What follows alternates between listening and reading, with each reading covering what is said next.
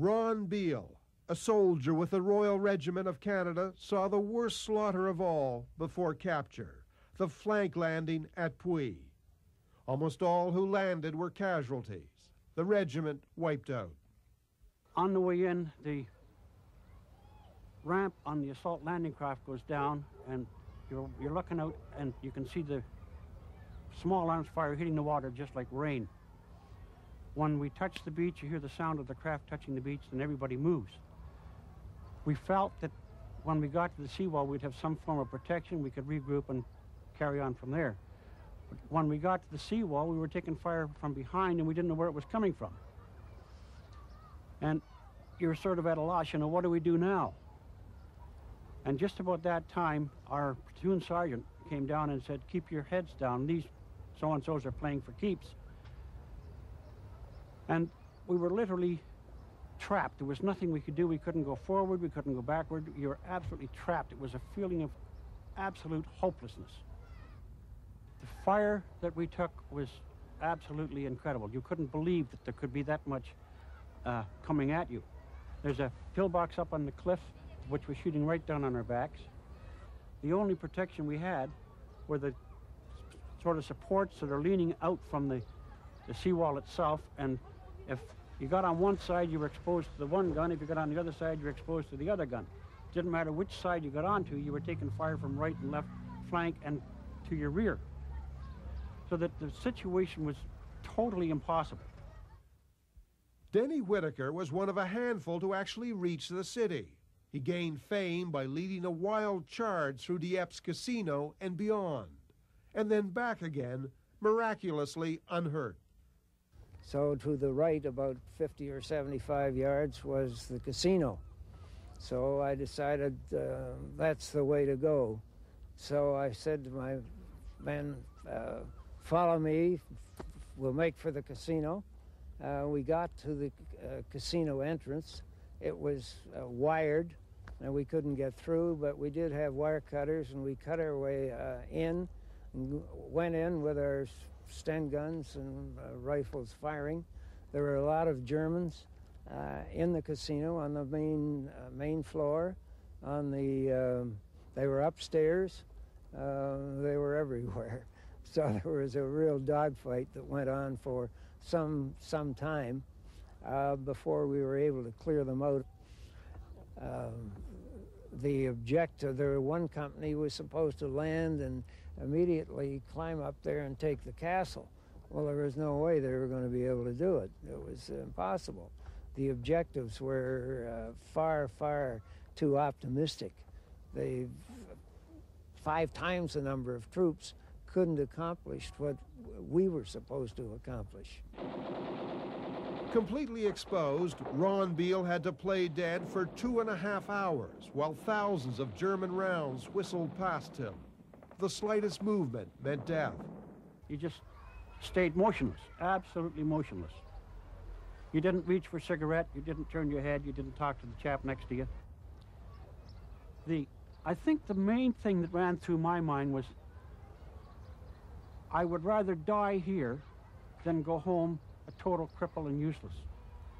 And I think I said a prayer to that effect. Please, don't let them make a cripple of me. I would rather die. And uh, I think maybe a lot of our boys did the same thing. And fortunately, uh, I never became a cripple and I didn't die. I survived, and I, as far as I'm concerned, it's an absolute miracle that anybody ever walked off this beach.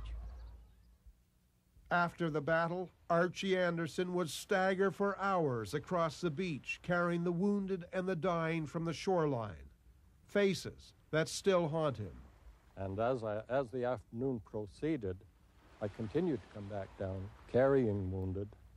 And by the time I'd finished with the, the one I was satisfied with, the last wounded man on there, I came to pick him up. He had lost both legs completely and he asked me to just leave him where he was, not to bother picking him up. So I said, well, my mother always said, where there's life, there's hope, so we've got to try. And I took him by the wrists and slung him over my shoulders and I couldn't believe how light he was. He had lost so much. And started back through the, the water again. And by that time, there were so many bodies in the water, it was virtually impossible for me to step between the bodies as I carried him. It was just so tiring that every trip seemed like it had to be the last. But every trip showed that it couldn't be the last. I had to go back and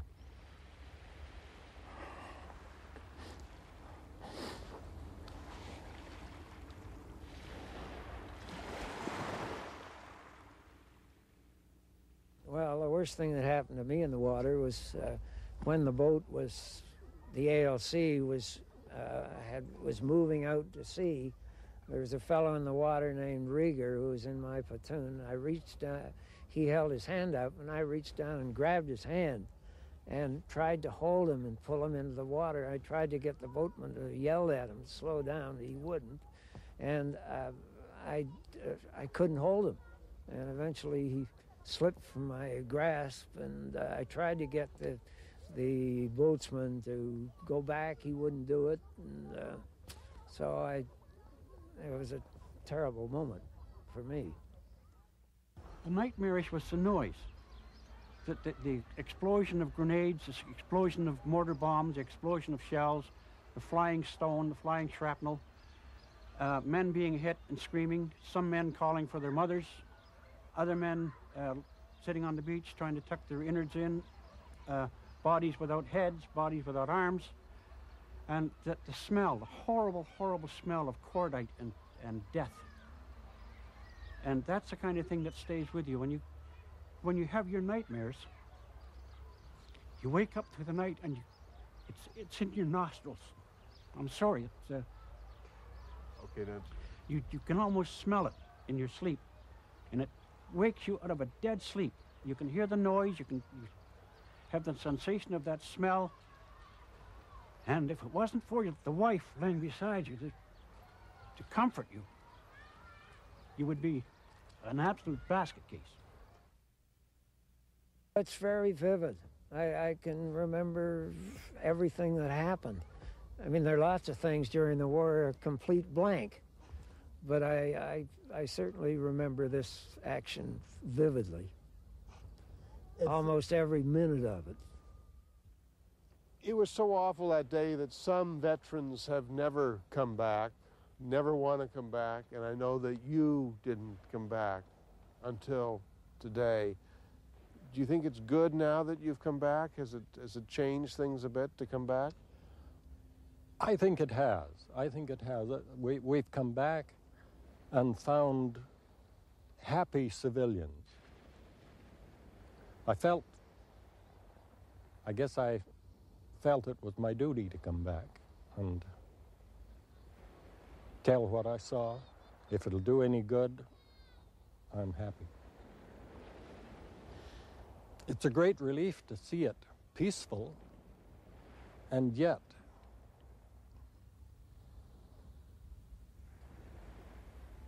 It's hard to imagine that they're not still here.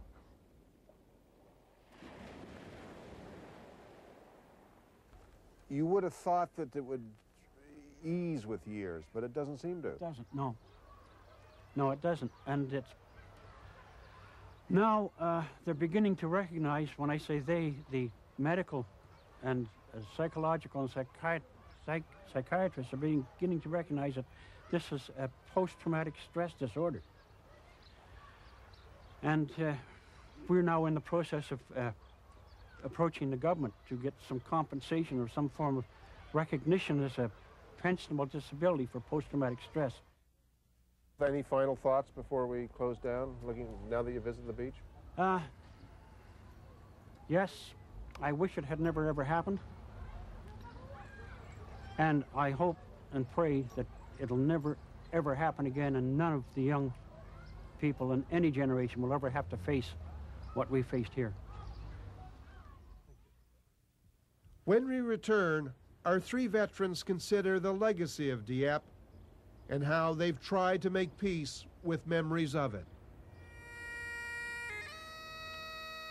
Je m'appelle Simone Prière Et euh, j'habite à Dieppe depuis toujours, puisque je suis née à